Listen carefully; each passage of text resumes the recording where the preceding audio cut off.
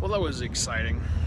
Um, we arrived at the island of Koh Tao, Thailand. Um, it is 4.50, almost 5 o'clock in the morning.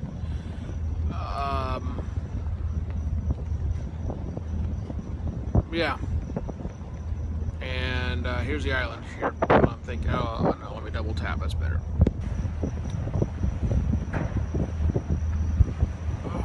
not a lot of activity at almost 5 o'clock in the morning uh, on the island of Macau, as you can see.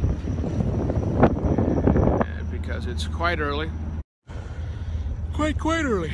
As a matter of fact, I probably got an hour of sleep at the most on the boat. Um, it was awfully wavy out there for a big heavy boat. I was surprised there were more waves than I was ready to contend with. Nothing made me nauseous or seasick, but just constantly kept the little child not too far from me awake the entire night because he never shut the hell up. So it's like your worst. Uh, oh wait, watch this.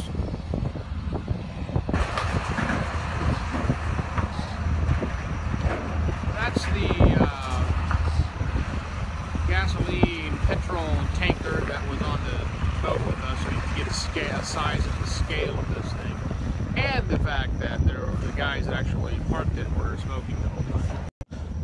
Flammable, not a real comfy experience. Uh, the, uh, the, the, the bed was made, I believe, of cast iron. Was the, was the right word for it? There, there might have been a thin sheet over the top for protection, but that was really about it. Um, not not great. We'll, we'll remember the name of this particular boat and, and place we were on, and probably opt to not return that way. Yeah, that doesn't sound like a good, a real good time to us. Now they're going to change my lighting. Which would be lovely if the sunrise uh, set. No, rise. Yeah, rise is the right word. Uh, was happening, but I think that's still a couple of hours off.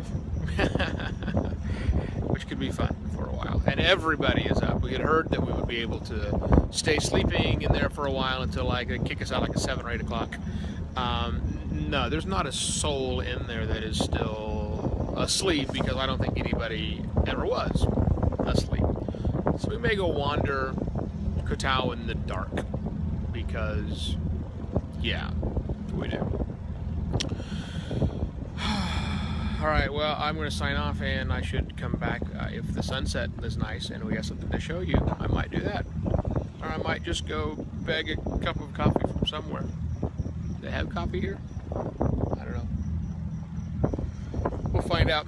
Sure I'll write up all about this stuff on the website over at shevo.wtf.